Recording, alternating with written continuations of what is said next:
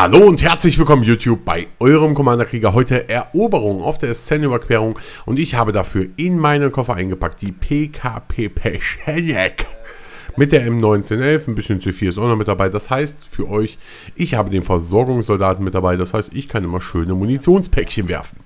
So, ich spiele hier übrigens noch äh, ja, mit dem Binake Clan. Die sind wieder alle mit an Bord. Und ich möchte heute mit euch nicht über das Gameplay reden, sondern ein bisschen über das neue DLC und zwar Close Quarters heißt das neue DLC, was es ab dem 12. Juni 2012 ja für uns geben wird. Ich weiß jetzt nicht, ob es exklusiv für PS3, Xbox oder PC ist. Ich glaube mal, es werden alle bekommen. Ich hoffe es zumindest, dass sie da nicht so ein, so Bullshit machen. Schauen wir aber einfach mal und wir gehen mal ein bisschen mal detailliert ein. Ähm, es wurde ja sehr häufig von Spielern kritisiert, es ist in Battlefield nicht genug Action. Und EA hat sich daraufhin Gedanken gemacht und hat gesagt, okay, ihr wollt mehr Action, könnt ihr haben. Und zwar haben sie halt Close Quarters eingebaut, also sprich den Nahkampf. Und gerade die, die neuen Level sind besonders auf den Häuserkampf aufgelegt. Und eine Art, ja, wie soll man sagen, Battlefield Goes Modern Warfare. Ich hoffe nicht, dass es so extrem sein wird, aber in einigen Foren liest man das Ganze schon. Es sind äh, ja Mapnamen im Spiel wie Siba Tower, ähm, was, was hatte ich noch gelesen? Ähm, was, waren da noch? Irgendwas Dawntree Fortress oder irgendwie sowas. Ich weiß es jetzt gar nicht genau, wie die, wie die Maps alle heißen. Auf jeden Fall, äh, bei Simba Tower sieht das Ganze so aus, dass es ein Hochhaus ist, beziehungsweise ein zweistöckiges Häuschen, Penthouse, auf dessen Dach eine Mischung aus Villa und Museum äh, sein wird, mit Swimmingpool ist davor und allem möglichen. Und es geht so in die Richtung von dem Spiel Mirror's Edge. Und auf einmal ist dann alles vorbei, nämlich wenn das Spiel beginnt, da ist alles zerdepperbar, zerstörbare Wände, Holzvertäfelung, Glasscheiben fliegen den Leuten um die Ohren. Und ich denke, genau da werden sie auch sehr viel Wert drauf legen, dass halt gerade wieder diese dieser Zerstörungsmodus, so nenne ich mal, in Battlefield weiter auferlebt wird. Es werden auch neue Waffen kommen, dazu komme ich gleich noch. Auch ein neuer äh, Spielmodus ähm, soll vorhanden sein. Er nennt sich, so wie ich das bisher jetzt gefunden habe, Conquest Domination. Finde ich ein bisschen doppelt gemoppelt. Es wird so beschrieben, ähm, dass das ein, eine Art Team Deathmatch ist. Ähm, nur halt mit Flaggen. Also die Spawns werden wie im Team Deathmatch sein, das heißt willkürlich auf der Map. Und man muss halt Flaggen erobern und dieses soll halt wesentlich schneller passieren als hier in diesem Eroberungsmodus. Ich bin mal wirklich gespannt, wie die das Ganze umsetzen wollen. Für die Fans von einer gediegenen Partie Rush kann man nur sagen, das wird es leider nicht geben, denn äh, der Rush-Modus soll in ja, Close Quarters soll er nicht verfügbar sein, beziehungsweise auf den neuen Maps soll es diesen, diese Möglichkeit nicht geben, äh, weil die Maps dafür einfach zu, zu klein, zu verwinkelt, zu eng sind und es da nicht möglich wäre, so heißt es von den Entwicklern. Auf jeden Fall wird es, wird es auch neue, neue Waffe geben. Ähm, was ich jetzt schon gehört habe, es wird ein neues äh, Snipergewehr geben, M417. Äh, da wird es die ACR geben, das L86 LSW Maschinengewehr, die MP5K Maschinenpistole, eine Spaß soll es geben und ich glaube noch drei, vier andere Waffen. Auf jeden Fall kann man da sich sicherlich auf das ein oder andere äh, neue Wäffelchen freuen. Ich denke, das ist auch ein bisschen notwendig, gerade um den, ich sag mal, älteren Hasen äh, bei bei Battlefield, um die bei Laune zu halten, damit sie neue Waffen haben, die sie aufleveln können, um da Service Stars freizuspielen, etc. Es wird wahrscheinlich um die 12 Euro kosten. Und ähm, ich, ich weiß noch nicht, was ich von dem, von dem neuen Spielmodus halten soll, muss ich ganz ehrlich sagen. Das ist für mich so ein bisschen... Ja, ich, ich, ich weiß es nicht, wie, wie das Ganze sich so, so ausleben wird, aber man merkt auf jeden Fall, Activision ist auf jeden ach, Activision, äh, Electronic Arts, Entschuldigung, ist auf jeden Fall sehr, sehr stark daran äh, geneigt, neue Aufträge reinzubauen. Ich glaube, zehn neue Waffen waren es jetzt letztendlich.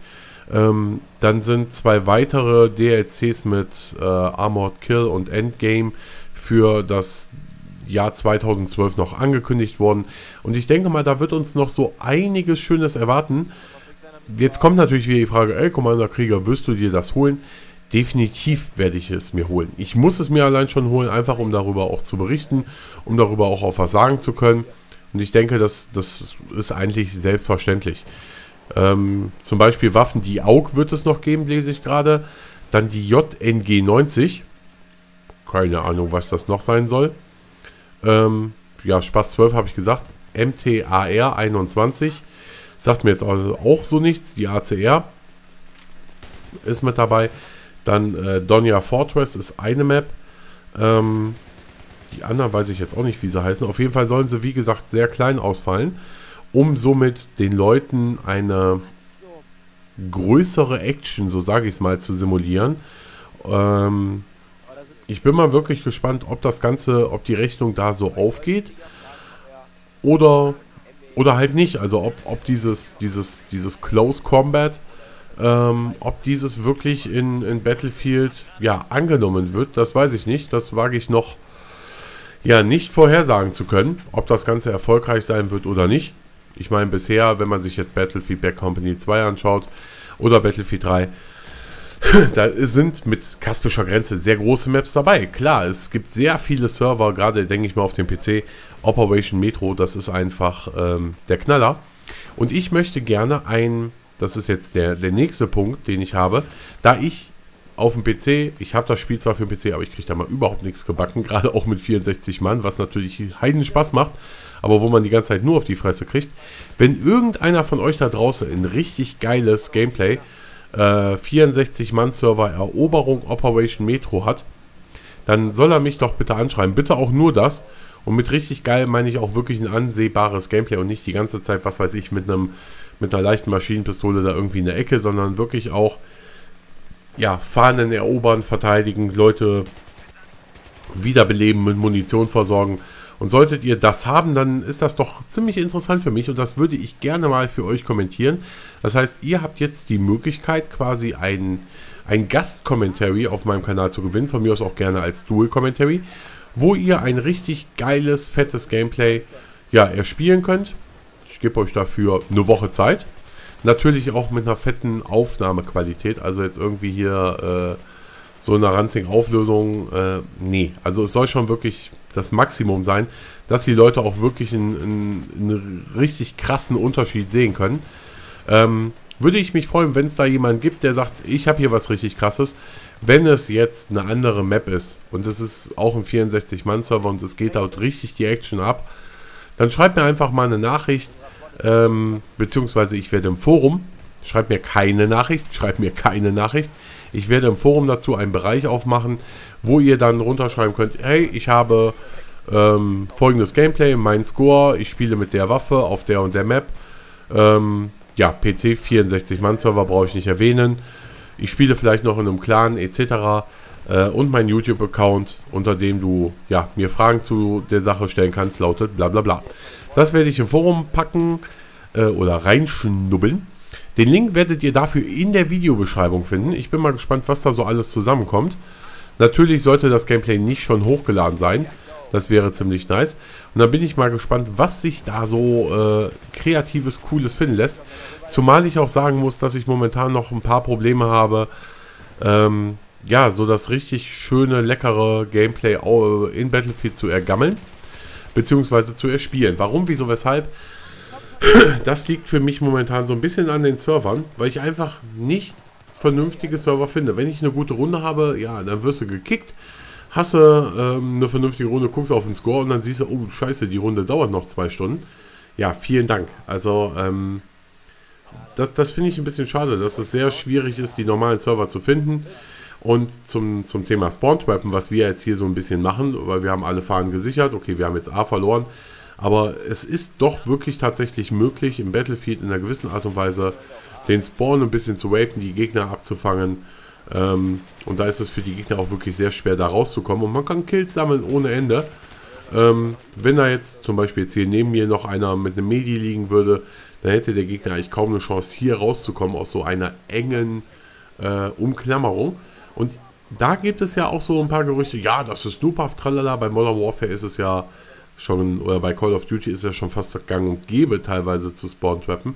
Und mich würde mal interessieren, wie seht ihr das Ganze? Sollte es dafür irgendetwas geben, Ähm, ich sag mal, sie haben es ja schon in einer gewissen Art und Weise versucht, den Spawn des Gegners zu schützen, dadurch, dass, dass man so quasi eine Abgrenzung gemacht hat, wo man nicht reinrennen kann.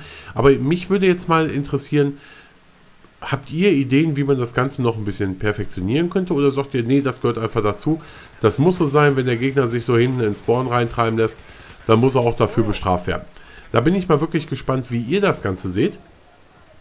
Und ihr seht auch schon, der Drops ist hier eigentlich äh, ja, ziemlich, ziemlich schnell gelutscht worden. Nur noch elf kleine Tickets, zehn, man kann schon fast runterzählen, die Sekunden, die äh, ja hier der Gegner, ja, ich möchte nicht sagen vernichtet wird, weil es sind ja letztendlich auch Abonnenten, die ja mitgespielt haben. Ähm, wenn ihr übrigens in der Gegnerlobby gewesen seid oder auch im, im, Team gewesen seid und ihr habt ein schönes Gameplay, was von euch gespielt ist, könnt ihr es gerne als Videoantwort schicken. Ähm, ich werde es dann annehmen. Und ja, das war es auch schon. Ganz, ganz souverän gewonnen, würde ich mal sagen. Und äh, mein Score 17 zu 5 und ich verabschiede mich mit einem Gutschuss. Euer Commander Krieger und bitte schreibt mir mal eure Meinung zu meinen Themen, sprich zu den Map Hacks, zu dem Spawn Trappen. Schreibt mir das Ganze mal in die Videokommentare, was ihr davon haltet, wie ihr darüber denkt. Und ich verabschiede mich jetzt bei diesem wunderschönen schwarzen Bildschirm mit einem Gutschuss. Euer Commander Krieger, bis zum nächsten Mal.